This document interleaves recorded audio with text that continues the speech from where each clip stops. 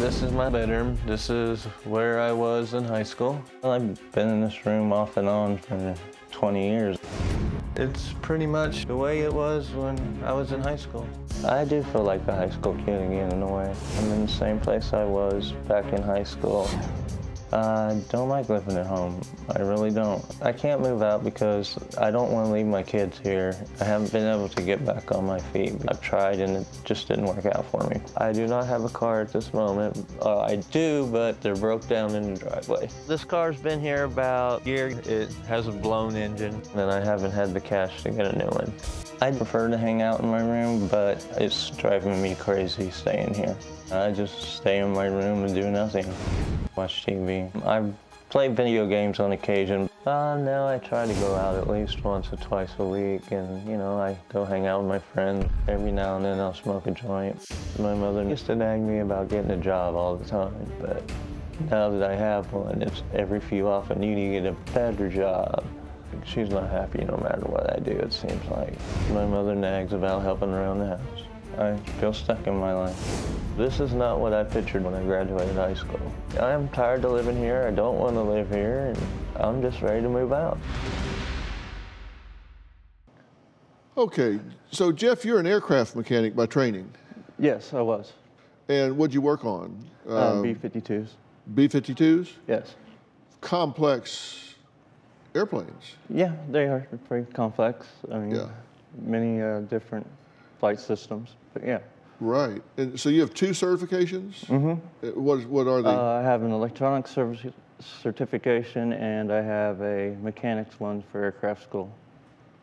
Electronics certification for aircraft? Mm-hmm. Well, congratulations on that. That's, um, I've been a pilot since I was a teenager, and I've flown everything from a Piper Tri-Pacer to a Gulfstream.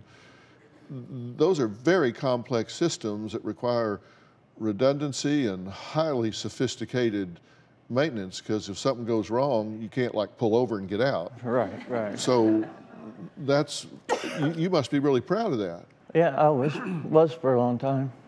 Yeah. Um, when was the last time you used that skill? Uh, probably 20 years ago.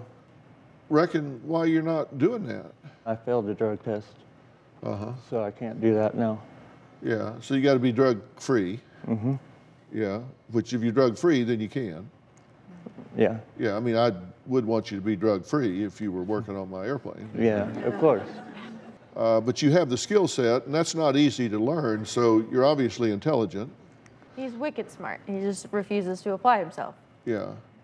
Uh, You said you didn't think that things were that bad until you got a call from. Right, Dr. right. Phil. I didn't real. I honestly didn't realize how bad they were. I could get that if we were talking about 16 weeks or even 16 months. Right. But we're talking about 16 years. That's four presidents. Your youngest son has never known anything other than your mom's house, ever. Yeah. That is true. H- How did that happen? Um, you know, me and my ex were together for seven years. We uh, having troubles the last three, so we decided to get married, and that made it worse. Um, so we had to get a divorce, and I couldn't afford where I was living at the time, so I had to talk to my father, and he allowed me to move in. Do you think he had any idea you were going to be there f- for going on two decades? No, he didn't. Did I you didn't- plan to be there no, for two I only planned on being there for a couple of years. a couple of years. Well, I, I was way in debt. It's always somebody Taking me- else's fault. Like, that's ridiculous. Well, hell, take bankruptcy, hit the reset button and start over, but you don't live with your mother when you're 45. Do you have a story or a question for me? Click the link in the description and tell me what in the world is going on.